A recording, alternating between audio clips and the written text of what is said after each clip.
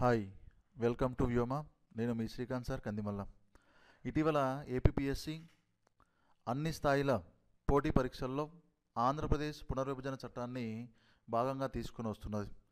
So దీని యొక్క ముఖ్య ఉద్దేశం ఏంటంటే నవ్యాంధ్ర నిర్మాణంలో భాగంగా మరి అభ్యర్థులందరూ కూడా ఈ సమస్యలన్నింటినీ కూడా అవగాహన చేసుకొని మరి మన నవ్యాంధ్ర నిర్మాణాన్ని సో శుభప్రదం చేయాల్సిందిగా ప్రభుత్వం కోరుకుంటా ఉన్నది. దీనిలో భాగంగా ఈ సిలబస్లో ఉన్నటువంటి రాజకీయ పాలనాపరమైన మరియు ఆర్థిక అవరోధాలకు సంబంధించిన విషయాలన్నింటినీ కూడా వ్యోమ టీం ఆధ్వర్యంలో దీనిని నాలుగు భాగాలుగా విభజించి వీడియో క్లాసులు మరియు వాటితో పాటు టెస్ట్ సిరీస్ని కూడా మీకు అందరికీ ఉపయోగపడేలా అందుబాటులోనికి తీసుకొస్తున్నది. ఒక్కొక్క టెస్ట్ సిరీస్లో యాభై ప్రశ్నలతో పాటు యాభై నిమిషాల సమయంతో మీ ముందుకు తీసుకొస్తున్నది. మరి దీంట్లో భాగంగా క్రింద ఇవ్వబడినటువంటి యూఆర్ఎల్ను క్లిక్ చేయగలరు. సో ఈరోజు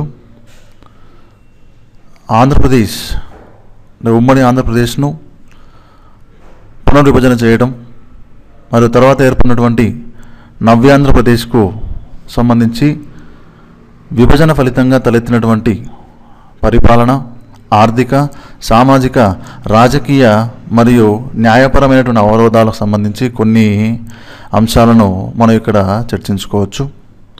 ముఖ్యంగా మనం చూసినట్లయితే ఏపీపీఎస్సి సో నుండి వస్తున్నటువంటి పోటీ పరీక్షలన్నింటిలోనూ సాధారణంగా ఈ ఆంధ్రప్రదేశ్ పునర్వ్యవస్థీకరణ చట్టం గురించి ప్రశ్నల్ని అడగడం జరుగుతుంది. ముఖ్యంగా గ్రూప్ టూ పరీక్షల్లో పేపర్ వన్లో భాగంగా సో మనకి సిలబస్లో ఇది మెన్షన్ చేయడం జరిగింది. మరి దాంతోపాటు దాదాపు పదిహేను ప్రశ్నల కంటే ఎక్కువగానే దీనిలోంచి మనం ఆశించవచ్చు. దీంట్లో ఉన్నటువంటి ముఖ్యమైనటువంటి అంశాలను చూడడానికి ముందుగా సో మనం సిలబస్ను చూసినట్లయితే మొదటిది చారిత్రక నేపథ్యం. అంటే ఆంధ్రప్రదేశ్ పునర్విభజనకు ముందున్నటువంటి అంశాలు మరియు ఏ విధంగా కొత్త రాష్ట్రాల ఏర్పాటు జరిగింది మరి ఆ రాష్ట్రాల ఏర్పాటు తర్వాత జరిగినటువంటి అంశాలు ఏంటి సో ఇవన్నీ కూడా మనం చారిత్రక నేపథ్యంలో భాగంగా చూడవచ్చు. మరి రెండో విషయం రాజధాని నగరాన్ని కోల్పోవడం మరి నూతన రాజధానిని ఏర్పాటు చేసుకోవడంలో ఉన్నటువంటి సవాళ్ళను మరి దాంతోపాటు నూతన రాజధాని నిర్మాణం కోసం వచ్చేటువంటి ఆర్థిక అవరోధాలను కూడా ఇక్కడ మనం డిస్కస్ చేసుకోవాల్సి వస్తుంది. సో ఇక మూడో అంశాన్ని చూస్తే ఉమ్మడి సంస్థల విభజన మరియు వాటి యొక్క పునర్నిర్మాణం చేసుకోవడం. నాలుగవది ఉద్యోగుల విభజన మరియు పునఃకేటాయింపు. సో ఐదవది వాణిజ్యం పారిశ్రామికవేత్తలపై విభజన ప్రభావం. సో ఆరు రాష్ట్ర ప్రభుత్వ ఆర్థిక వనరులకు ఉన్నటువంటి అవరోధాలు. సో ఏడు విభజన అనంతరం మౌలిక సదుపాయాలు మరియు దాంతోపాటు పెట్టుబడుల అవకాశాలలో సో పెట్టుబడుల అవకాశాల కోసం ప్రభుత్వం చేస్తున్నటువంటి ప్రయత్నాల గురించి మనం ఏడవ టాపిక్గా చెప్పుకోవచ్చు. సో ఎనిమిదవది నదీ జలాల పంపిణీ సంబంధిత అంశాలపై విభజన ప్రభావం. తొమ్మిది విభజన చట్టంలోని ముఖ్య అంశాలు అనేవి తొమ్మిదో అంశంగా చెప్పుకోవచ్చు. మొత్తం సిలబస్ని మనం కొన్ని పార్ట్స్గా డివైడ్ చేసుకొని చూసినట్లయితే సో ఈ రకంగా తొమ్మిది భాగాలుగా మనం చేసుకోవచ్చు.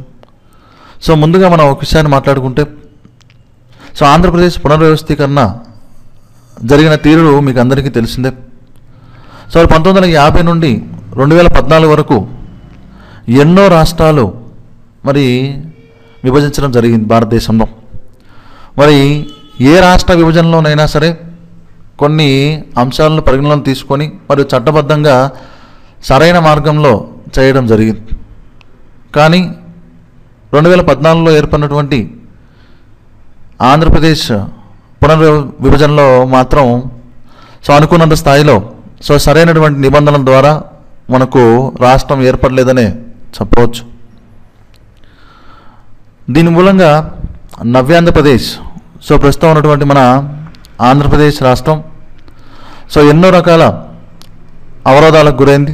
దాంట్లో ముఖ్యంగా రాజధాని నగరం అనేది లేకపోవడం. సో రెండవది సో మరి ఆర్థిక అవరోధాలు అనేవి ఎన్నో రాష్ట్రాన్ని ఆర్థికంగా వెనక్కు నెట్టడం జరుగుతూ ఉన్నది. సో ఫర్ ఎగ్జాంపుల్ మనం చారిత్రక నేపథ్యాన్ని తీసుకున్నట్లయితే చారిత్రక నేపథ్యంలో మనకి ఆంధ్ర రాష్ట్ర ఏర్పాటు సో తర్వాత ఆంధ్ర రాష్ట్రం ఏర్పడిన తర్వాత భాషా ప్రయుక్త రాష్ట్రాల డిమాండ్స్ మరియు అంతేకాకుండా భారతదేశంలో ఇంకొన్ని రాష్ట్రాల మధ్య సో విభజన అనేది జరగడం మరియు దానికి కొన్ని గైడ్లైన్స్ ఇవ్వడం కోసం ఎస్ఆర్సి లేదా రాష్ట్రాల పునర్విభజన కమిషన్ను ఏర్పాటు చేయడం సో తర్వాత భాషా ప్రయుక్త రాష్ట్రాలు ఏర్పడడం దాంతో భాగంగానే ఆంధ్రప్రదేశ్ అవతరణ మరియు విభజనకు ముందు ఉన్నటువంటి పరిణామాలన్నీ కూడా మనం ఈ చారిత్రక నేపథ్యంలో చూసుకోవచ్చు. సో రెండవది రాజధాని విషయంలో సవాళ్ళలోకి వెళ్తే ఉమ్మడి రాజధానిపై కొంత అవగాహన తీసుకొని మరి దానిలో భాగంగా గతంలో శ్రీకృష్ణ కమిటీ. మరి విభజన తర్వాత మన విభజన చట్టంలో భాగంగా మనకి శివరామకృష్ణన్ కమిటీ మరి చేసినటువంటి సిఫార్సులు మరి ఆ తర్వాత రాజధాని కోసం భూసేకరణలో ఉన్నటువంటి సవాళ్ళు దాంట్లో భాగంగా క్యాపిటల్ రీజియన్ డెవలప్మెంట్ అథారిటీ గురించి కూడా మనం డిస్కస్ చేసుకోవచ్చు. సో మూడవది సో ఉమ్మడి సంస్థల విభజన పునర్నిర్మాణంలో తీసుకుంటే విభజన చట్టంలో మనకి తొమ్మిది పది షెడ్యూల్లో ఉన్నటువంటి సంస్థల కేటాయింపుల విషయం. ముఖ్యంగా తొమ్మిదవ షెడ్యూల్కి సంబంధించినటువంటి సంస్థల్లో మరి వాటి కేటాయింపులు అనేది జరపడం కోసం కేంద్ర ప్రభుత్వం శీలాబేడి కమిటీని ఏర్పాటు చేసింది. సో ఎప్పుడు కూడా వార్తల్లో ఉంటుంది షీలాబేడి కమిటీ. సో తర్వాతది ముఖ్యంగా ఈ ఉమ్మడి సంస్థల నిర్వహణలో భాగంగా ఉమ్మడి హైకోర్టు అనేది నిర్వహించడం. మరి వీలైనంత త్వరలో ఆంధ్రప్రదేశ్కు ఒక నూతన హైకోర్టును ఏర్పాటు చేయాలని చెప్పి మనకు విభజన చట్టంలో పేర్కొనబడింది. సో రెండు వేల పంతొమ్మిది జనవరిలో భారతదేశంలోనే ఇరవై ఐదవ హైకోర్టుగా ఆంధ్రప్రదేశ్కు ఒక హైకోర్టును ఏర్పాటు చేయబోతున్నాం. సో అది మనం తర్వాత క్లాసుల్లో మాట్లాడుకుందాం. మరి నాలుగవది ఉద్యోగుల విభజన పునఃకేటాయింపు అంటే కేంద్ర రాష్ట్ర ప్రభుత్వ ఉద్యోగులకు సంబంధించి. సో మరి వాటి యొక్క విభజన అంటే ఆయా రాష్ట్రాలకు ఏ విధంగా విభజించాలి అనే అంశాన్ని తీసుకుంటే మరి దీంట్లో మనకు ముఖ్యమైనది కమల్నాథన్ కమిటీ గురించి మనం మాట్లాడుకోవచ్చు. సో దాంతోపాటుగా మరి ఈ ఉద్యోగుల విభజన పునఃకేటాయింపు సందర్భంలో ముఖ్యమైనటువంటి అంశం స్థానికత అనేది. స్థానికతపై ఎన్నో రకాల సమస్యలు ఉన్నాయి. సో స్థానికత సంబంధించిన అంశాలను కూడా మనం ఇక్కడ చూడవచ్చు. సో వాణిజ్య పారిశ్రామికవేత్తలకు ఈ విభజన వల్ల జరిగినటువంటి ప్రభావం. సో దీంట్లో ముఖ్యంగా మన సబ్ టాపిక్స్ చూసినట్లయితే ఒకే ప్రాంతంలో పారిశ్రామిక కేంద్రీకరణ జరగడం వల్ల కొన్ని అనర్థాలు అనేవి జరిగినాయి. సో ఎగ్జాంపుల్ మనం హైదరాబాద్ని డెవలప్ చేసుకోవడం తర్వాత మనకు అంత స్థాయిలో ఉన్నటువంటి నగరాన్ని మనకు లేకపోవడం. సో ఒకే ప్రాంతంలో పారిశ్రామిక కేంద్రీకరణ జరగడం వల్ల కొన్ని అనర్థాలు. సో బీలో చూస్తే విభజన వల్ల ఏర్పడిన వ్యాపార ప్రతికూల వాతావరణం. అంటే వ్యాపారానికి ఎటువంటి ప్రతికూల వాతావరణాలు ఏర్పడినాయో సో మనం ఇక్కడ చర్చించుకోవచ్చు. సో ఆ రోజు దాన్ని చూస్తే రాష్ట్ర ప్రభుత్వ ఆర్థిక వనరులకు ఉన్న అవరోధాలు. సో మరి పద్నాలుగవ ఆర్థిక సంఘం కేటాయింపులు మరి దానిపైన విభజన ప్రభావం. అదేవిధంగా రాష్ట్ర పనుల ఆదాయంపై విభజన. అంటే ఉమ్మడి రాష్ట్రంలో ఉన్నటువంటి పన్నుల ఆదాయం పైన విభజన ప్రభావం ఎలా ఉంది అని చూడవచ్చు. తర్వాత ఉమ్మడి ఆంధ్రప్రదేశ్లో పరిస్థితులపై కొన్ని అవగాహనలు తీసుకొని దాంతో ప్రస్తుత రాష్ట్రానికి జరిగినటువంటి లోటును మనం గమనించవచ్చు. దాంతోపాటు విభజన అనంతరం మౌలిక సదుపాయాలు పెట్టుబడులు అవకాశాల కోసం ప్రభుత్వం ప్రయత్నాలు ఎలా చేస్తోంది అనే విషయంపై మనం చూడాలి. మౌలిక సదుపాయాల అభివృద్ధి కోసం ప్రభుత్వ విధానాలు ముఖ్యంగా విద్యుత్ రవాణా నీటిపారుదల రంగాలకు మరి వాటిలో ప్రగతి సాధించడం కోసం కొన్ని చర్యలు చేపట్టడం దాంతోపాటుగా పారిశ్రామిక అనుమతుల్లో సరళీకరణ మరి వాటి కోసం కొన్ని ప్రోత్సాహకాలు మరి విదేశాల నుంచి పెట్టుబడుల ఆకర్షణ ఎలా జరుగుతుంది అనేది ఇక్కడ మనం చూడాల్సి ఉంటుంది. సో ఇది నదీ జలాల పంపిణీకి సంబంధించిన అంశాల పైన మనం చూస్తే గోదావరి కృష్ణ యాజమాన్య మండలి సమాచారాన్ని కొంచెం చూడాలి. పోలవరం జాతీయ ప్రాజెక్టుగా మరియు ప్రస్తుతం పోలవరం ప్రాజెక్టు పోయినటువంటి అంశాలు మరి రెండు రాష్ట్రాల మధ్య తలెత్తున్నటువంటి జల వివాదాలు ఎలా పరిష్కరించబడతాయి అనేది చూడాల్సి ఉంటుంది. సో ఇదంతా కూడా మనం దీన్ని అంశాల వారీగా విభజించుకున్నట్లయితే సో మొదట చారిత్రక నేపథ్యాన్ని తీసుకొని మనం మాట్లాడుకోవచ్చు. చారిత్రక నేపథ్యానికంటే ముందు రాజధాని విషయంలో సవాళ్ళ గురించి మనం మాట్లాడుకోవాల్సి ఉంది. ముఖ్యంగా ఈ రాజధానిని కోల్పోవడం మరి ఆ రాజధానిని కోల్పోవడమే కాదు నూతనంగా మనం రాజధానిని ఏర్పాటు చేసుకోవడంలో ఉన్నటువంటి సవాళ్ళ గురించి మనం మాట్లాడుకుందాం. కొన్ని విషయాలు. ముఖ్యంగా ప్రపంచంలోనే అన్ని ప్రాంతాల్లో ఉన్నటువంటి తెలుగువారు వారి ప్రతిభ నైపుణ్యాలు సామర్థ్యాలని పెట్టుబడిగా పెట్టి బ్రాండ్ హైదరాబాద్ను సృష్టించుకోవడం జరిగింది. సో ఈ బ్రాండ్ హైదరాబాద్ దీనిలో భాగంగానే ఒక అంతర్జాతీయ నగరంగా పేరు పొందడం జరిగింది. ఒక కాస్మోపాలిటన్ సిటీ లేదా అంతర్జాతీయ నగరంగా పేరు పొందినటువంటి హైదరాబాద్ను మరి ఈ విధంగా తయారు చేయడంలో మరి ప్రపంచంలో ఉన్నటువంటి తెలుగువారు అందరి యొక్క సామర్థ్యాలను ఇక్కడ పెట్టుబడిగా పెట్టి మనం దీన్ని ఈ విధంగా తయారు చేసుకున్నాం. ముఖ్యంగా దీనిలో చూస్తే ఆంధ్రప్రదేశ్ రాష్ట్రం ఏర్పడిన కాలం నుంచి అంటే పంతొమ్మిది వందల యాభై ఆరు నుండి హైదరాబాదును అభివృద్ధి చేయడంలో దాదాపు పదమూడు లక్షల కోట్లకు పైగా పెట్టుబడులు పెట్టుకోవడం ఒక ప్రాథమిక సమాచారం ప్రకారం మాత్రమే మనం ఇక్కడ డిస్కస్ చేసుకుంటున్నాం. సో ఈ పెట్టుబడికి సంబంధించి దాదాపు పదమూడు లక్షల కోట్లకు పైగానే పెట్టుబడి జరిగినట్లు. మరి దాని మూలంగా ప్రపంచ స్థాయి మౌలిక సదుపాయాలు ఇక్కడ కలిగినాయి. మరియు అంతర్జాతీయ విద్యా సంస్థలు మరి ఎన్నో రకాల అంతర్జాతీయ సంస్థలు నేరుగా హైదరాబాద్ నగరంలో పెట్టుబడులు పెట్టి సో హైదరాబాద్లో మరి మరి పారిశ్రామిక వాడలు తయారు చేసుకున్నాం. ఈ మొత్తం పెట్టుబడిని చూసినట్లయితే పంతొమ్మిది వందల యాభై ఆరు నుంచి పెట్టుబడిలో మరి ఉమ్మడి రాష్ట్ర ప్రభుత్వం దాదాపు ఆరు లక్షల కోట్లకు పైగా పెట్టుబడులు పెట్టింది. కేంద్ర ప్రభుత్వం so one point four lakh crore వరకు పెట్టుబడులు పెట్టింది. సో దాదాపు ప్రైవేట్ యాజమాన్యం కిందకి వస్తే దాదాపు ఎనిమిది లక్షల కోట్ల వరకు ఇక్కడ పెట్టుబడులు అనేవి తీసుకురావడం జరిగింది.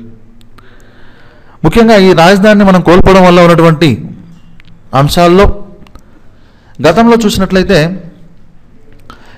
కేంద్ర ప్రభుత్వం ఏర్పాటు చేసినటువంటి భవనాలు చూస్తే దాదాపు హైదరాబాద్లోనే రెండు వందల అరవై ఐదు భవనాలు హైదరాబాద్లో ఉండడం. ఆంధ్రప్రదేశ్లో ఓన్లీ పదిహేను భవనాలు మాత్రమే ఉండడం మనం గమనించవచ్చు. సో దీని ద్వారా కొత్త రాష్ట్రంలో మనం దాదాపు నూట పదిహేను డైరెక్టరేట్స్ లేదా కమిషనరేట్లను ఏర్పాటు చేసుకోవాల్సిన అవసరం ఉన్నది. దాదాపు ముప్పై రెండు డిపార్ట్మెంట్లకు సెక్రటరేట్లను కల్పించాల్సి ఉంది. దీంతో పాటుగా దాదాపు పదిహేను వేల మందికి సో రీలొకేట్ ఎంప్లాయీస్ను రీలొకేట్ చేసుకోవాల్సి ఉంది.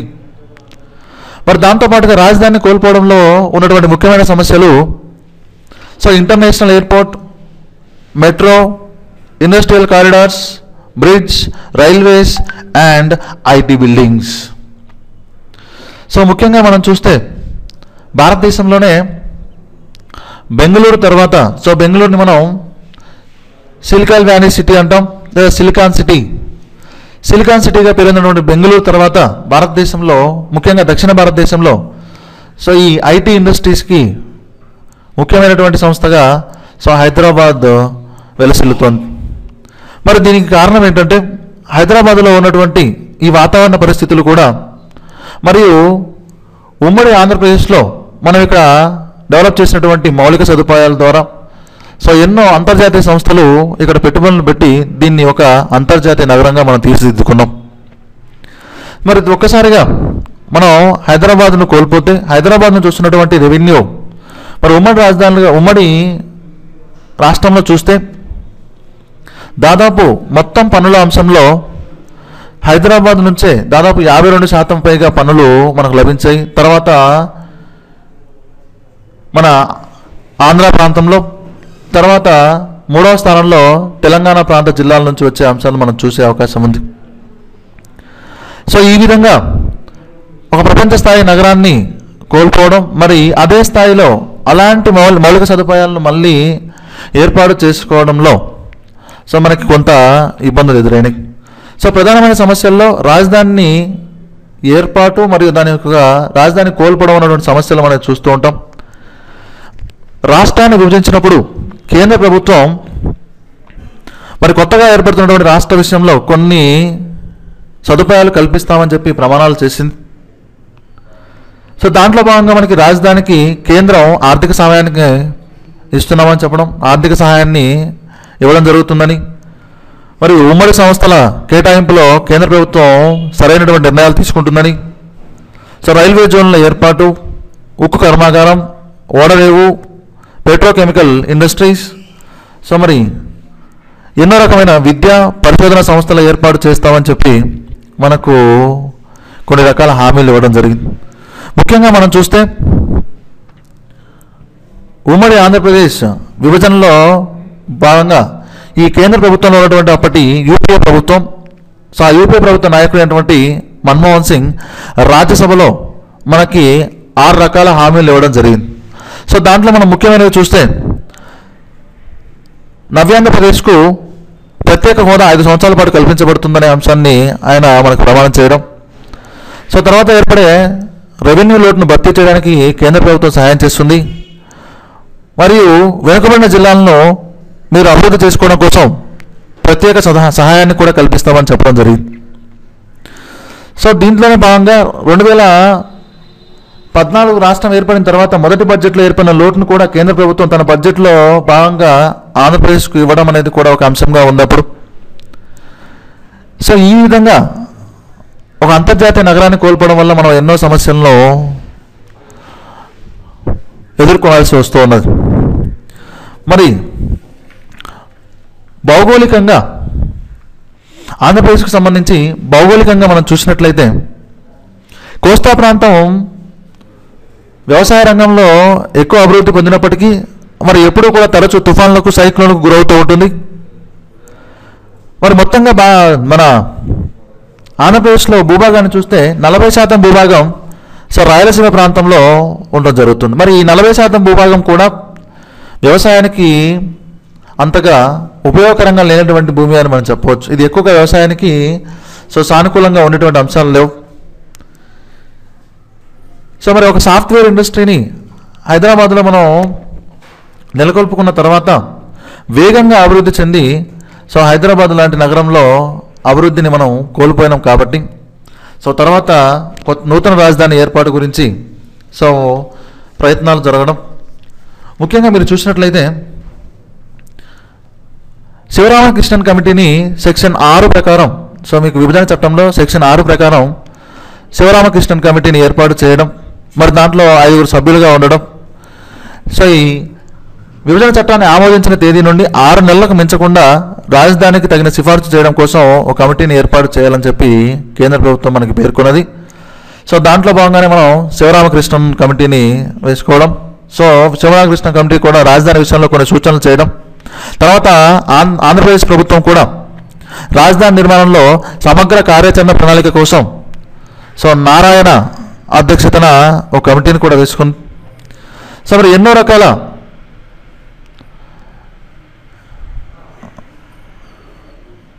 అంశాలను పరిగణన తీసుకున్న తర్వాత ప్రస్తుతం ఉన్నటువంటి అమరావతి ప్రాంతాన్ని మనం రాజధాని ప్రాంతంగా తీసుకోవడం జరుగుతున్నది. సో దీని గురించి మనం కొన్ని విషయాలు మాట్లాడినట్లయితే ముఖ్యంగా నూతన రాజధాని నిర్మాణంలో భాగంగా సో నూతన రాజధానిని మనం నిర్మించుకోవడంలో భాగంగా మరి ఎన్నో రకాల ఒడిదుడుకులు అనేది ప్రభుత్వం ఎదుర్కొంటూ ఉన్నది. ముఖ్యంగా చూస్తే ప్రస్తుతం ఉన్నటువంటి అమరావతి ప్రాంతాన్ని చూసినట్లయితే సో మన రాజధాని ప్రాంతాన్ని తీసుకున్నట్లయితే సో అక్కడ ఉన్నటువంటి వ్యవసాయ భూములు సో ఎక్కువ సాగుకు అనుగుణమైనవి. మరియు రైతులు కూడా ఆ భూమిని కోల్పోవడం భూములను కోల్పోయిన తర్వాత సో వృత్తి నైపుణ్యం లేనటువంటి పనుల్లోకి అక్కడ రైతులు వెళ్ళాల్సి వస్తున్నది. మరియు ఓ కొత్త నగరాన్ని నిర్మించడంలో భాగంగా ఎన్నో రకాల సమస్యలు మనకి ఎదురవుతూ ఉన్నాయి. మరి కేంద్రం అనుకున్న స్థాయిలో ఆర్థికంగా మనకి సాయం చేయలేకపోవడం దాంతోపాటుగా ఈ రాజధాని ప్రాంతానికి కోర్టు కేసుల రూపంలో కూడా కొన్ని అవరోధాలు ఉన్నాయి. ముఖ్యంగా దీంట్లో కోర్టు కేసుల్లో రెండు రకాల కోర్టు కేసులు మనం చూడవచ్చు. ఒకటి నేషనల్ గ్రీన్ ట్రిబ్యునల్కి సంబంధించినవి. సో నేషనల్ గ్రీన్ ట్రిబ్యునల్కి సంబంధించిన కేసులు కొన్ని సో మనకి అవరోధాన్ని చూపిస్తున్నాయి. మరి అదేవిధంగా స్విస్ ఛాలెంజ్ లాంటి వాటిపై కూడా కొన్ని రకాల కేసులు మనకు కనిపిస్తూ ఉన్నాయి. సో ఈ చారిత్రక నేపథ్యం అనే అంశంలో ఆంధ్ర రాష్ట్ర ఏర్పాటు గురించి మీరు చూసిన పంతొమ్మిది వందల యాభై మూడు అక్టోబర్ ఒకటో తేదీన ఆంధ్ర రాష్ట్రం ఏర్పడడం. మరి ఎప్పుడైతే ఆంధ్ర రాష్ట్రం ఏర్పడిందో భారతదేశంలో ఎన్నో రాష్ట్రాల్లో ఈ భాషా ప్రయుక్త రాష్ట్రాలు మరియు అదేవిధంగా కొన్ని రాష్ట్రాల ఏర్పాటు గురించి మనం చర్చించడం జరుగుతోంది. దానిలో భాగంగా కేంద్ర ప్రభుత్వం ఎస్ఆర్సీని ఏర్పాటు చేయడం. ఆ ఎస్ఆర్సీ ఇచ్చిన నివేదికలో భాగంగా దాదాపు కేంద్ర ప్రభుత్వం పదహారు రాష్ట్రాలు మరియు నాలుగు కేంద్రపాలిత ప్రాంతాలు ఏర్పాటు చేయమని ఎస్ఆర్సీ మనకి నివేదించడం. తర్వాత దాన్ని పార్లమెంట్లో చర్చించి మన ప్రభుత్వం పద్నాలుగు రాష్ట్రాలు ఆరు కేంద్రపాలిత ప్రాంతాలను ఏర్పాటు చేయడం మరి దాంట్లో భాగంగా ఏర్పడినటువంటి మొట్టమొదటి భాషా ప్రయుక్త రాష్ట్రంగా ఆంధ్రప్రదేశ్ ఏర్పడింది. సో ఆంధ్రప్రదేశ్ అవతరణ పంతొమ్మిది వందల యాభై ఆరు నవంబర్ ఒకటో తేదీన ఆంధ్రప్రదేశ్ అవతరణ జరగడం తర్వాత రెండు వేల పద్నాలుగు వరకు ఉమ్మడి రాష్ట్రంగా కొనసాగడం. మరి దాదాపు పంతొమ్మిది వందల యాభై ఆరు నుంచి రెండు వేల పద్నాలుగు వరకు మరి ఉమ్మడి రాష్ట్రంలో హైదరాబాద్ పైన మనం ఎన్నో రకాల అంశాలను ఖర్చు చేయడం మరి ఇప్పుడు దాన్ని కోల్పోవడం. సో ఎన్నో అంశాలను మనం ఈ విభజన చట్టంలో మనం చూడవచ్చు. సో ముఖ్యంగా ఈ రాజధాని విషయంలో సవాళ్ళ గురించి మనం మాట్లాడుకునేటప్పుడు ముందు శివరామకృష్ణన్ కమిటీ చేసినటువంటి సిఫార్సుల గురించి మాట్లాడుకుందాం. సో ముందుగా మనం ఇందాక మనం మాట్లాడుకున్నట్లు విభజన చట్టంలోని సెక్షన్ ఆరు ఆరు నెలలలోపు అంటే ఆరు నెలల కాలాన్ని మించకుండా రాజధానికి తగిన సిఫార్సులు ఇవ్వడం కోసం సో నిపుణుల కమిటీని ఏర్పాటు చేయాలి. సో దానిలో భాగంగా ప్రభుత్వం ఐదుగురు సభ్యులతో కూడినటువంటి శివరామకృష్ణన్ కమిటీని నియమించింది. శివరామకృష్ణన్ కమిటీ సూచనలు మనం చూసినట్లయితే గుంటూరు మరియు విజయవాడల మధ్య ఈ నవ రాజధానిని ఏర్పాటు చేయడం వల్ల కొన్ని ఆర్థికపరమైన ఇబ్బందులు మరియు పర్యావరణ సమస్యలు తలెత్తాయని చెప్పి ఈ కమిటీ సూచించడం జరిగింది. మరియు అంతేకాకుండా రాష్ట్రాన్ని నాలుగు జోన్లుగా విభజించమని చెప్పింది. ఉత్తర మధ్య దక్షిణ మరియు రాయలసీమ జోన్లుగా విభజించుకునే ప్రయత్నం చేయమంది. మరియు ముఖ్యంగా రాయలసీమను ట్రాన్స్పోర్ట్ కారిడార్గా మనం డెవలప్ చేయాలని చెప్పి కూడా సూచించడం జరిగింది. మరియు వైజాగ్ను హైటెక్ జోన్గా ఏర్పాటు చేయాలంది. దాంతోపాటుగా వైజాగ్లో హైకోర్టు భవనాన్ని ఏర్పాటు చేయడం అని చెప్పడం దాంతోపాటు ఈ హైకోర్టు బెంచ్ని కర్నూలు లేదా అనంతపురంలో కూడా ఏర్పాటు చేయాలని సూచించడం. శ్రీకాళహస్తి రైల్వే జోన్ మరియు ఇతను చేసినటువంటి సూచనలు మరి తర్వాత ఆంధ్రప్రదేశ్ ప్రభుత్వం ఏర్పాటు చేసినటువంటి ఈ నవరాజధాని నిర్మాణ సమగ్ర కార్యాచరణ ప్రణాళిక కోసం నారాయణ అధ్యక్షతన కమిటీని ఏర్పాటు చేసి జీవో నెంబర్ నైంటీ సెవెన్ ద్వారా అమరావతి ప్రాంతాన్ని ప్రకటించడం జరిగింది. సో రెండు వేల పదిహేను అక్టోబర్ ఇరవై రెండున ఉద్దండరాయుని పాలెంలో సో అప్పటి ప్రధానమంత్రి నరేంద్ర మోడీ శంకుస్థాపన చేయడం మా అందరికీ తెలిసిన విషయమే. సో ఈ రాజధానికి ఉన్నటువంటి సమస్యలు చాలా సమగ్రమైనవి. సో ఎన్నో రకాల అంశాలు మనం ఇక్కడ మనం మాట్లాడుకోవాల్సి ఉంటుంది. మరి దీంట్లో భాగంగా మనం కొన్నిసార్లు ఉద్యోగుల అంశాన్ని కూడా మాట్లాడుకుంటున్నాం. ఈ ఉద్యోగుల అంశం ఈ రాజధాని ప్రాంతకి ప్రాంతానికి ఉద్యోగుల విషయంలో అంటే ఉద్యోగులను ఇక్కడ తరలించే విషయంలో కూడా కొన్ని సమస్యలు ఉన్నాయి. సో ఈ ఉద్యోగుల తరలింపు దాంతోపాటు ఇక్కడ ఉద్యోగుల అంశంలో హెచ్ఆర్ఏ లేదా హౌస్ రెంట్ అలవెన్స్ లాంటివి మరి గతంలో పన్నెండు శాతంగా ఉండే వాటిని ముప్పై శాతంగా చేసే ప్రయత్నం చేసింది ప్రభుత్వం.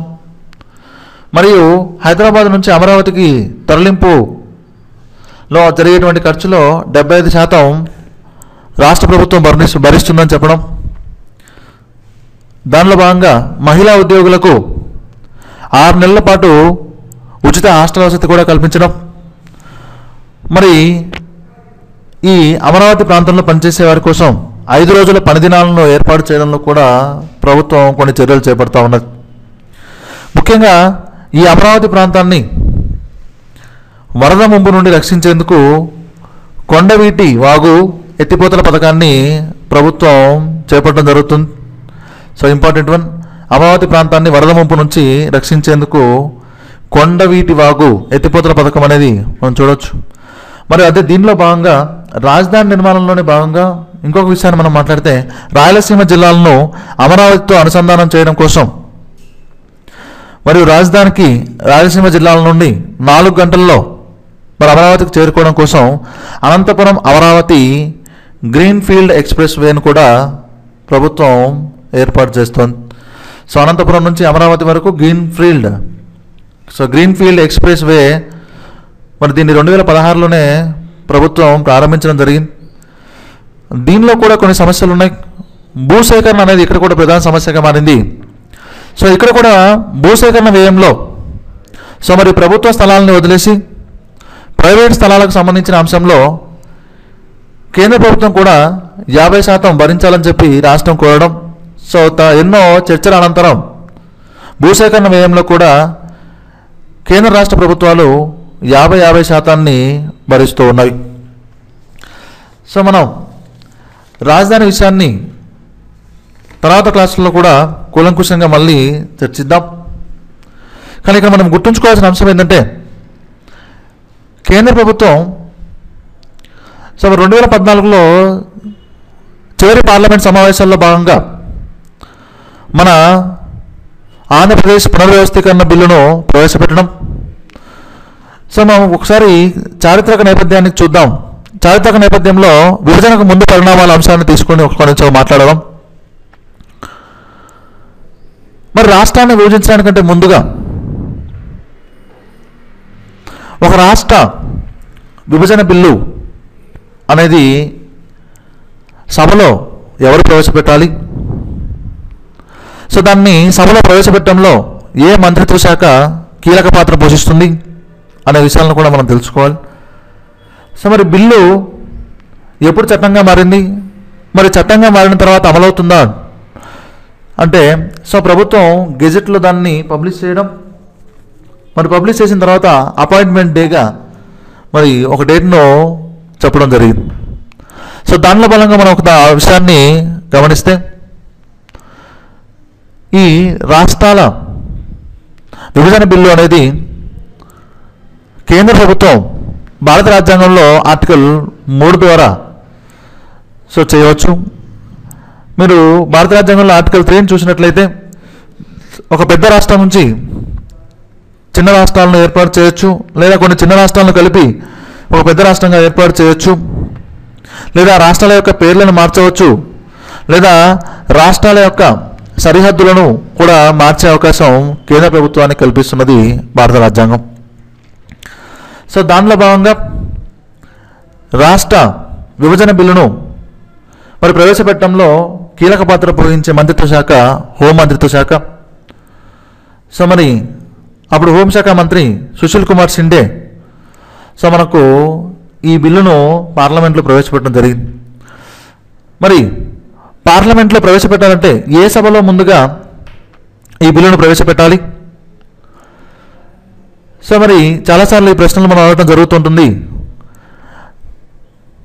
రాష్ట్ర విభజన బిల్లును ఏ సభలోనైనా ప్రవేశపెట్టవచ్చు. సో చాలాసార్లు మనకి ఆప్షన్స్లో ప్రశ్నలు ఎలా ఉంటాయంటే లోక్సభలో మాత్రమే ముందుగా ప్రవేశపెట్టాలి?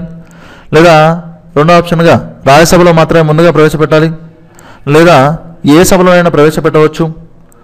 సో మరి నాలుగవది రాష్ట్రపతి యొక్క నిర్ణయం ప్రకారం అనే అంశాలు మనం చూడవచ్చు సో ఫర్ ఎగ్జాంపుల్ మనం దీన్ని మాట్లాడుకున్నట్లయితే సో ఈ రాష్ట్రాల విభజన బిల్లును ఏ సభలోనైనా ముందుగా ప్రవేశపెట్టవచ్చు. కానీ అందులో ఆర్థికపరమైన విషయాలు ఉన్నట్లయితే అందులో ఆర్థికపరమైన విషయాలు ఉన్నట్లయితే దాన్ని తప్పనిసరిగా మనం లోక్సభలో మాత్రమే ముందుగా ప్రవేశపెట్టాలి. మరి దాంతో భాగంగా వెరీ వెరీ ఇంపార్టెంట్ రాష్ట్ర విభజన బిల్లును పార్లమెంట్లో ప్రవేశపెట్టడానికి ముందు రాష్ట్రపతి యొక్క ముందస్తు అనుమతి తప్పనిసరిగా తీసుకోవాలి. సో చాలాసార్లు మనం అడిగినటువంటి ప్రశ్నలు ఏ బిల్లుల విషయంలో రాష్ట్రపతి ముందస్తు అనుమతి తప్పనిసరి అని మనం చెప్తూ ఉంటారు.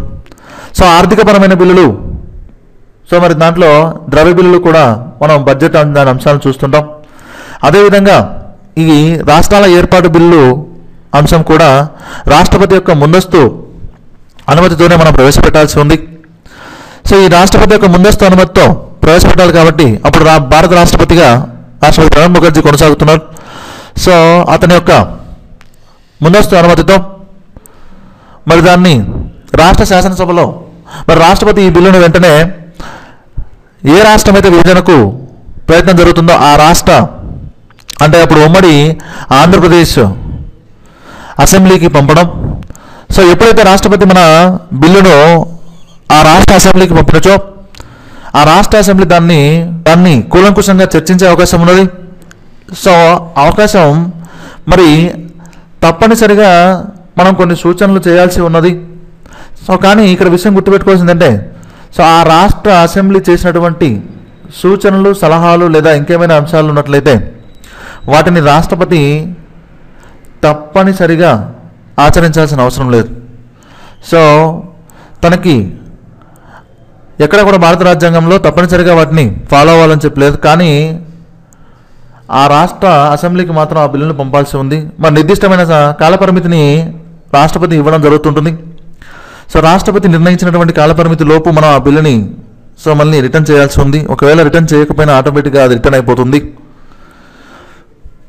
సో అలాంటి సందర్భాల్లో మరి ఎన్నో రాజకీయ పరిణామాల మధ్య మరి ఎన్నో గందరగోళాల మధ్య సో ఈ రాష్ట్ర పునర్వ్యవస్థీకరణ బిల్లు సో పార్లమెంట్కి వెళ్ళింది మరి పార్లమెంట్కి వెళ్ళిన తర్వాత రెండు వేల పద్నాలుగు ఫిబ్రవరి పద్దెనిమిదో తేదీన అప్పుడు లోక్సభ దాన్ని ఆమోదించింది.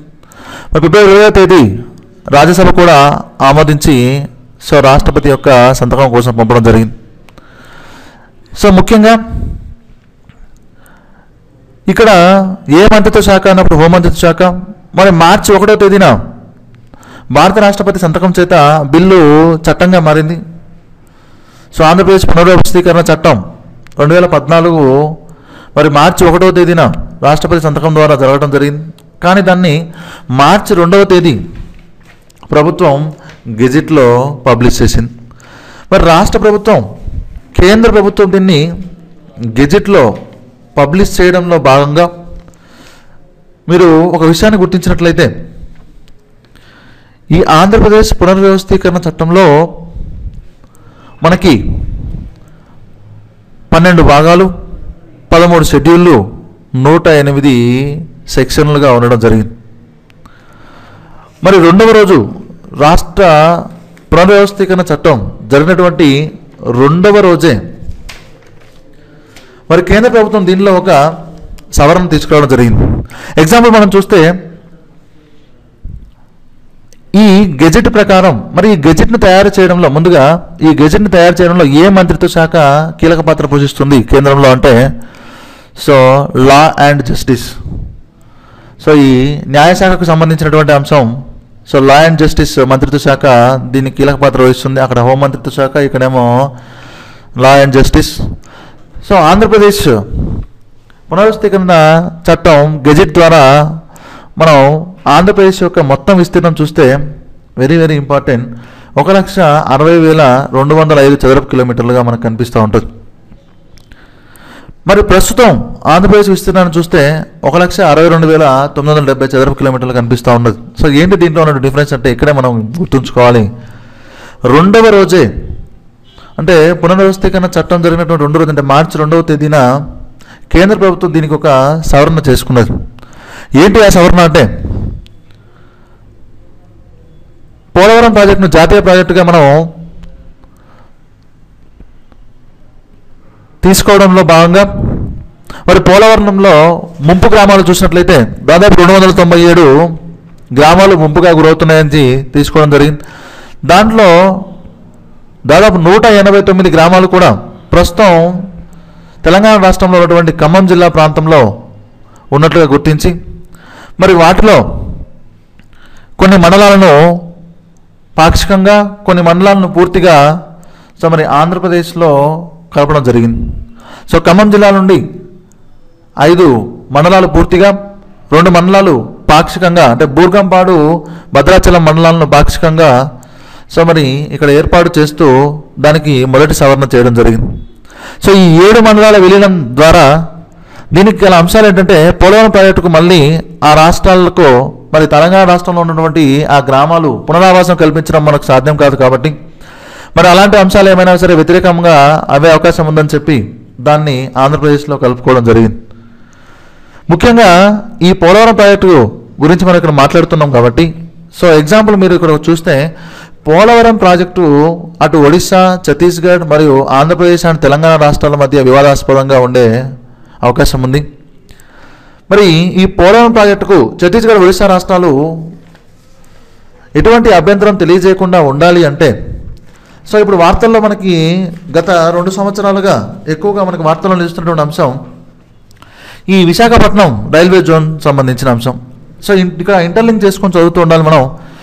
విశాఖకు ప్రత్యేక రైల్వే జోన్ ఏర్పాటు చేయడంలో జాప్యం ఎందుకు జరుగుతుంది అని మీరు ఒక విషయాన్ని ఆలోచిస్తే ఇప్పుడు ఈ విశాఖపట్నం రైల్వే జోన్ ఏదైతే ఉందో తూర్పు తీర రైల్వేకు సంబంధించిన అంశంలో ఇది కొనసాగుతున్నది. మరి ఒడిశా ఛత్తీస్గఢ్ రాష్ట్రాల నుండి ఒడిశా ఛత్తీస్ రాష్ట్రాల నుండి ఈ రైల్వే జోన్ను ప్రత్యేక రైల్వే జోన్గా చేయకూడదు అనే అభ్యంతరాలు ఉన్నాయి. మరి ఇటువైపు ఈ రైల్వే జోన్ను మన అవకాశం ఇస్తే మరి పోలవరం ప్రాజెక్టుకు ఆ రాష్ట్రాల నుండి కొంత ఇబ్బంది జరిగే అవకాశం ఉంది కాబట్టి సో ఈ విధంగా కేంద్ర ప్రభుత్వం మనకు విశాఖకు ప్రత్యేకంగా రైల్వే జోన్లు కేటాయించడంలో కూడా కొంత జాప్యం ఇస్తూ ఉన్నది. సో ఇక్కడ మనం వీడియో చూసేటువంటి మిత్రులందరికీ కూడా ఒక చిన్న ప్రశ్న. ఈ విశాఖ రైల్వే జోన్ అనేది డిమాండ్ ఇప్పటిది కాదు. దాదాపు యాభై ఏళ్ళ క్రితం నుంచే ఈ డిమాండ్ అనేది కొనసాగుతూ ఉంది. మరియు దీన్ని పార్లమెంట్లో యాభై ఏళ్ళ క్రితమే మరి డిమాండ్ లేవనెత్తినటువంటి మొట్టమొదటి వ్యక్తి ఎవరు అనేది మీరు ఒకసారి కామెంట్ బాక్స్లో ఆన్సర్గా రాయండి. సో మళ్ళీ నెక్స్ట్ వీడియోలో మనం దాని గురించి డిస్కస్ చేసుకుందాం. సో ఈ ప్రత్యేక రైల్వే జోన్కు మరియు పోలవరం ప్రాజెక్టుకు మధ్య ఈ రాష్ట్రాల మధ్య ఉన్నటువంటి అంశాలను కూడా మీరు గుర్తుంచుకోవాలి. మరి మొదటి సవరణలో భాగంగా ఏడు మండలాలనే కాకుండా రెండవది కూడా అమెండ్ చేయడం జరిగింది. So important one. సో ఆ రెండవది ఏంటంటే విద్యుత్ పంపిణీకి సంబంధించిన అంశం. మరి రెండు రాష్ట్రాల్లో ఏర్పడినప్పుడు మరి అక్కడ జరిగేటువంటి విద్యుత్ పంపిణీ అనేది ఎలా చేసుకోవాలనేది కూడా సో మరి ఆ రోజు కేంద్ర ప్రభుత్వం దానికి సవరణగా తీసుకొచ్చింది. మరి మొత్తం విద్యుత్లో ఎనభై ఐదు శాతం ఏమో జనాభా ప్రాతిపాదికన చేసుకోవాలన్నది మరి ఇంకొక పదిహేను శాతం వచ్చేసి గత ఐదు సంవత్సరాల వాస్తవ వినియోగాన్ని ఆధారంగా చేసుకొని మరి వాటిని నిర్ణయించాలని చెప్పింది. సో విద్యుత్ పంపిణీకి సంబంధించి మనకు రాష్ట్రాల మధ్య విభజన చేసుకోవడం కోసం మనం అనుసరించే formula Gadgil formula. So important one విద్యుత్ పంపిణీకి సంబంధించిన అంశం గాడ్గిల్ ఫార్ములా. సో ఎనభై శాతం ఏమో జనాభా ప్రతిపాదికన పదిహేను శాతం ఏమో గత ఐదు సంవత్సరాల వాస్తవ వినియోగాన్ని బేస్ చేసుకొని మనం చేస్తూ ఉన్నాం. సో ఈ విభజన చట్టానికి రెండో రోజు జరిగినటువంటి అంశాలని మీరు గమనించవచ్చు. దీంట్లో మీరు ముఖ్యంగా గమనించినట్లయితే రాజధాని సమస్య అనే కాకుండా మరి సిలబస్లో గ్రూప్ స్థాయి ఎగ్జామ్స్లో మనకు అడుగుతున్నటువంటి ప్ర- ప్రశ్నలు ఎలా ఉంటాయంటే ఫర్ ఎగ్జాంపుల్ విభజన చట్టంలో మెన్షన్ చేసి ఉన్నటువంటి అంశాల్లో ఏంటిది? సో మరి చేయనటువంటి అంశాలు ఏమిటి అని మనని అడిగే అవకాశం ఉంది. ఫర్ ఎగ్జాంపుల్ ఇక్కడ రాష్ట్ర ప్రభుత్వం ఆర్థిక వనరులకు ఉన్నటువంటి అవరోధాలు అనే మనకు టాపిక్ ఉంది. దాంట్లో మనం పద్నాలుగో ఆర్థిక సంఘం కేటాయింపుల గురించి మాట్లాడుకోవాల్సి ఉంది. మరి దాంట్లో భాగంగా మరి ఆర్థిక వనరుల్లో జరిగే అవరోధాల గురించి మరి కేంద్ర ప్రభుత్వం మరి ఆనాడు ఉన్నటువంటి యూపీఏ ప్రభుత్వం సో సాక్షాత్తు ప్రధానమంత్రి తన యొక్క ప్రసంగంలోనే మనకు ఐదు సంవత్సరాల పాటు నవ్యాంధ్రప్రదేశ్కు ప్రత్యేక హోదా కల్పిస్తాము అని చెప్పి ప్రమాణం చేసింది.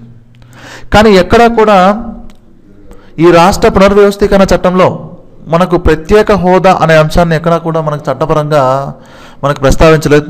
ఒకవేళ దాన్ని చట్టపరంగా ప్రస్తావించి ఉండి ఉంటే ఈరోజు మరి తర్వాత ఏర్పడినటువంటి ఎన్డీఏ ప్రభుత్వాన్ని మనం తప్పనిసరిగా ఒత్తిడి తీసుకొచ్చే అవకాశం ఉండేదేం. సో ఈ రెండు అంశాలను బేస్ చేసుకుని మనం ఇక్కడ ఒక టాపిక్ని మనం మాట్లాడుకోవాలి.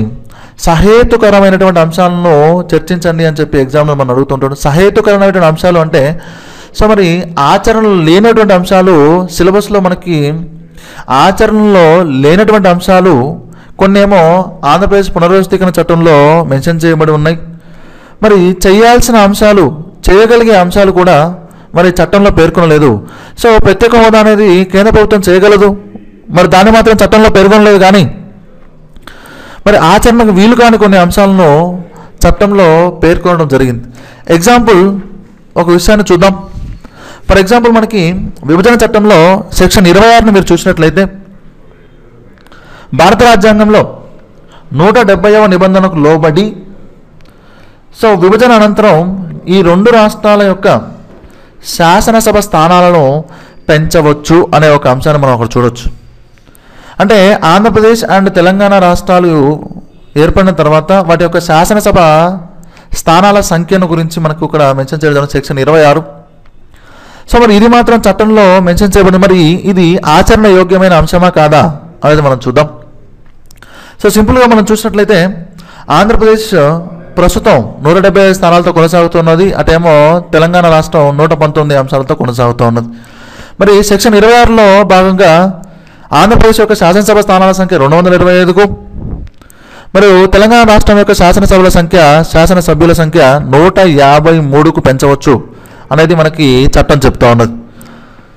సో ఇది రీసెంట్గా మనకి ఏపీఎస్సీ గ్రూప్ టూలో కూడా ఈ ప్రశ్న అడిగింది ఏ ఆర్టికల్ను సెక్షన్ ఇరవై ఆరులో ఈ ఆంధ్రప్రదేశ్ రాష్ట్ర శాసనసభ్యుల సంఖ్యను పెంచే అవకాశం గురించి ఏ ఆర్టికల్ ద్వారా చర్చించమని చెప్పి మనకి విభజన చట్టం చెప్తుంది అని చెప్పి అడిగాను. సో ఆర్టికల్ వన్ సెవెంటీని గుర్తుపెట్టుకోవాలి ఇక్కడ. మరి ఈ విషయం సాధ్యమైనదా కాదా అనేది మనం మాట్లాడుకుందాం. ఫర్ ఎగ్జాంపుల్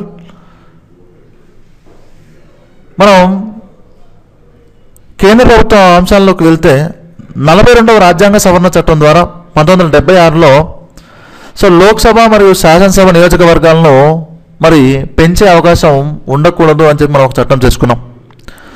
పంతొమ్మిది వందల డెబ్బై ఒకటి జనాభా లెక్కల ప్రకారం పంతొమ్మిది వందల డెబ్బై మూడులో నిర్ణయించిన కొన్ని అంశాలని. సో ఆ డెబ్బై మూడులో నిర్ణయించుకున్న అంశాలను పంతొమ్మిది వందల డెబ్బై ఆరులో నలభై రెండవ రాజ్యాంగ సవరణ ద్వారా సో ప్రభుత్వం ఒక చట్టాన్ని చేసింది. ఇరవై ఐదు సంవత్సరాల పాటు మరొక ఇరవై ఐదు సంవత్సరాల పాటు ఈ లోక్సభ శాసనసభ స్థానాలను పెంచకూడదు అనే అంశాన్ని మనకు వివరించింది. అంటే డెబ్బై ఆరు నుంచి సో ఇరవై సంవత్సరాలు అంటే దాదాపు రెండు వేల ఒకటి వరకు మరి శాసనసభ స్థానాలు లేదా లోక్సభ స్థానాలు పెంచకూడదని ఆనాడు నిర్ణయించుకున్నది. సో సింపుల్గా మనం చూస్తే నలభై రెండవ రాజ్యాంగ సవరణ ద్వారా మీరు గుర్తుపెట్టుకోవాలి. ఎనభై నాలుగవ రాజ్యాంగ సవరణ. సో నలభై రెండును మీరు డబల్ చేస్తే ఎనభై నాలుగు వస్తుంది.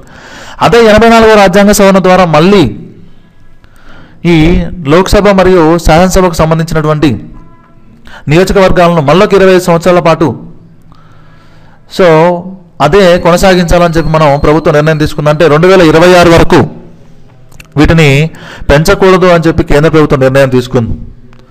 మరి రెండు వేల ఇరవై ఆరు వరకు వీటిని పెంచే అవకాశం లేనప్పుడు ఆంధ్రప్రదేశ్ మరియు తెలంగాణ రాష్ట్రాల అంశంలో మాత్రం నూట డెబ్బై నుంచి రెండు వందల ఇరవై ఐదుకు ఆంధ్రప్రదేశ్కు తెలంగాణకు నూట పంతొమ్మిది నుంచి నూట యాభై మూడు వరకు ఏ విధంగా పెంచే అవకాశం ఉంది అని కేంద్రం దీని చట్టంలో మనకు ప్రస్తావించడం జరిగింది. సో ఇలాంటి అంశాలను కూడా మనం చూస్తూ ఉండాలి. సో చేయగలిగి ప్రస్తావించనివి చేయగలకపోయినా ప్రస్తావించిన అంశాలు మనకి కొన్ని ఇక్కడ కనిపిస్తూ ఉంటాయి. మరి ఇంకొక ముఖ్యమైన విషయం మనం మాట్లాడుకుందాం. చివరిగా నదీ జలాల పంపిణీకి సంబంధించిన అంశాలపై సో ఈ విభజన చట్టం యొక్క ప్రభావం సో ఒకసారి మనం మాట్లాడుకుందాం. సో ఈ నదీ జలాల పంపిణీ సంబంధిత అంశాల గురించి ఒక అంశాన్ని తీసుకుందాం. సో నీటి నిర్వహణ వివాదాలు అనేవి మనకు తొమ్మిదవ భాగంలో సెక్షన్ ఎనభై నాలుగు నుంచి మనకు వీటి యొక్క ప్రస్తావన ఉన్నది. తొమ్మిదవ భాగం సెక్షన్ ఎనభై నాలుగు దగ్గర నుంచి. సో కృష్ణా గోదావరి నదులు అనేవి రెండు రాష్ట్రాలకు కూడా ఎంతో కీలకం. మరియు దానిలో భాగంగా కృష్ణా గోదావరి నది జలాల నిర్వహణ కోసం మరి నిర్వహణ మండళ్ళు ఏర్పాటు చేయాలి. మరియు ఈ రెండు నదుల యొక్క నిర్వహణ కోసం అపెక్స్ కౌన్సిల్ అనేది అవసరం అని చెప్పి మనకు చట్టంలో పేర్కొనబడింది. మరి అత్యున్నత సంఘం లేదా అపెక్స్ కౌన్సిల్ సో దీనిలో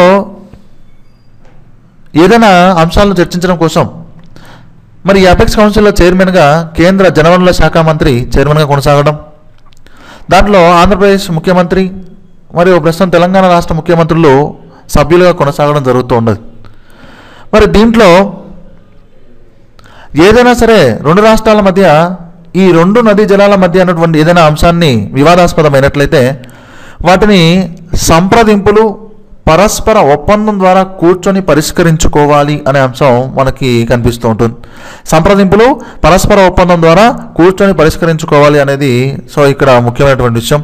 మరి దీంతో పాటుగా రెండు నదులకు సంబంధించినటువంటి జల నిర్వహణ మండల గురించి కూడా చట్టం పేర్కొంటున్నది.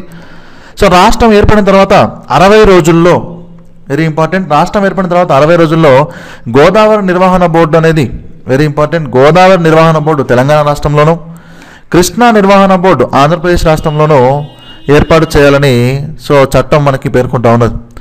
మరి ఇవి ఎలా పనిచేస్తాయంటే కేంద్ర ప్రభుత్వం యొక్క నియంత్రణలో స్వయం ప్రతిపత్తి కలిగినటువంటి సంస్థలుగా పనిచేస్తూ ఉంటాయి.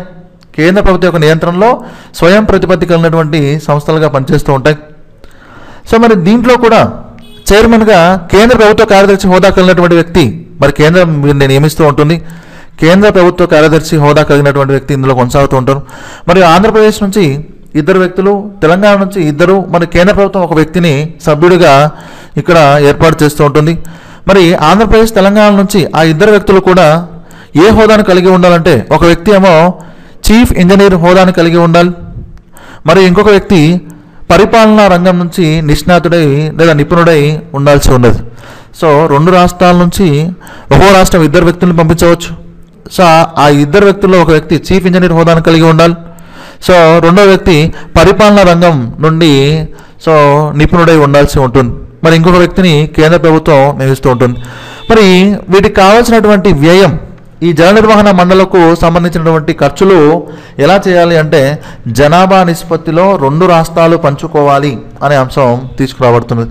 సో తర్వాత క్లాసెస్లో మనం ఇంకా కొన్ని అంశాలను తీసుకొని మాట్లాడుకుందాం. సో దాంట్లో తర్వాత క్లాసెస్లో మనం మాట్లాడే అంశాల్లో మీకు ముఖ్యంగా ఇక్కడ ఒక టాపిక్ అనేది మనం మాట్లాడాల్సి ఉంటుంది. హైదరాబాద్ అనేది ఉమ్మడి రాజధానిగా కొనసాగుతున్నది కాబట్టి ఈ హైదరాబాద్లో తాగునీటి సరఫరా కోసం మనకి ఈ నదీ జలాలను ఉపయోగించుకోవాల్సి ఉంది. మరి ఈ హైదరాబాద్లో తాగునీటి సరఫరా కోసం తెలంగాణ రాష్ట్రం మరియు ఆంధ్రప్రదేశ్ రాష్ట్రం రెండు కూడా సో ఫిఫ్టీ ఫిఫ్టీ పర్సెంట్ షేర్ని తన నదీ జలాల నుంచి సో మరి సమకూర్చుకోవాల్సిన అవసరం ఉందని కూడా కేంద్ర ప్రభుత్వం చెప్తున్నది. సో సో ఈ మా వీడియోని మీకు నచ్చినట్లయితే సో లైక్ చేయండి అండ్ షేర్ చేయండి తప్పకుండా.